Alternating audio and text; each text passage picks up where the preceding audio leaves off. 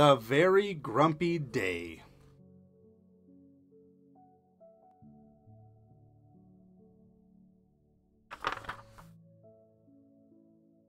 Look at the cherries.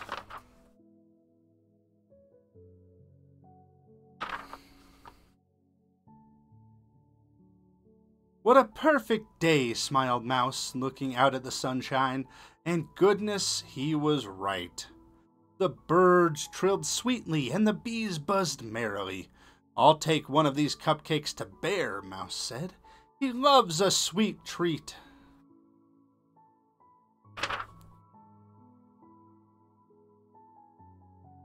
Mouse tappity tap tapped on Bear's front door, but he didn't know that Bear had just left in a very bad mood. Oh, humph, grumped Bear. These boots are just too big.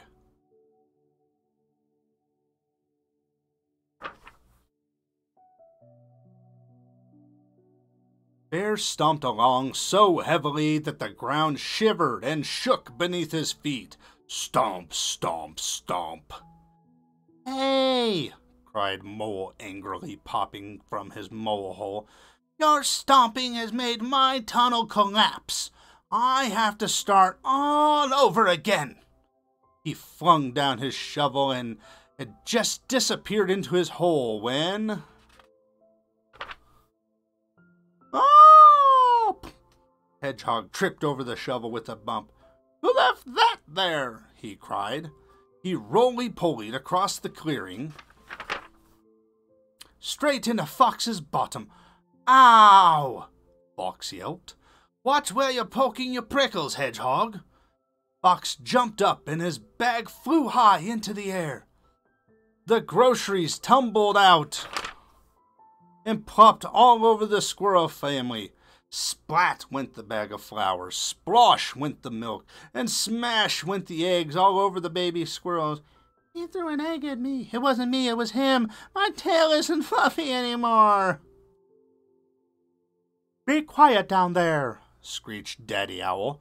You'll wake my chicks. Bicker, squabble, quarrel. Now everyone was in a big, bad mood. Up above, the sky turned dark. A roll of thunder shook the woods, and the rain began to fell, fall. What a terrible day! Stop pushing me! Quick! Oh no, grumped Bear.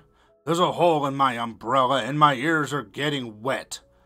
Bear's bad mood lasted all the way home. Then suddenly he spotted something.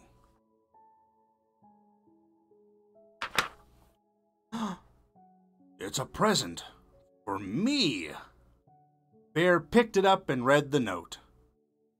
Oh, how nice, he sniffed, and for the first time that day, Bear smiled. A sweet treat for Bear, with love, from Mouse. As Bear munched happily on his cupcake, the sky cleared, and the flowers bobbed in the breeze. Mole would love these flowers, said Bear. I'll take them over to apologize to him to apologize for stomping on his tunnel. I'm sorry, Mole, said Bear, giving the flowers to his friend. That's okay, said Mole, and for the first time that day, Mole smiled too. I should say I'm sorry to Hedgehog for leaving my shovel in his way, said Mole. He trotted over to his friend's house and gave Hedgehog a huge hug. I'm sorry, Fox. That's okay. The smiles and happiness spread like rays of spring sunshine all through the afternoon. I'm sorry. Thank you.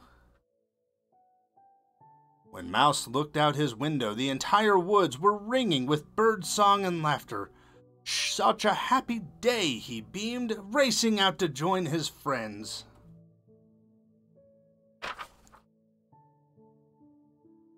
And it was.